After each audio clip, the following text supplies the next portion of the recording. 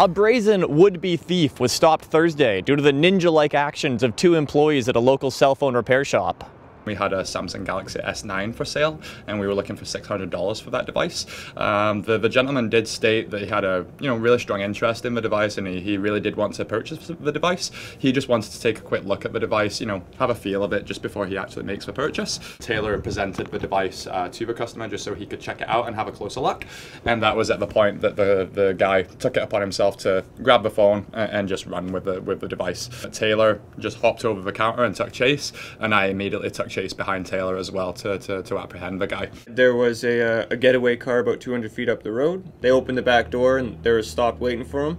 And once I was probably five, ten feet from the car, I decided to push him. He smoked the door, went flying over, and I threw his face into the cement and held him. And then Jamie came behind and grabbed his legs, and we held him down. After holding the man down for a few minutes, along with the help of some bystanders, police arrived and arrested the man.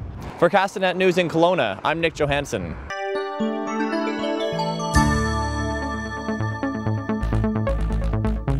you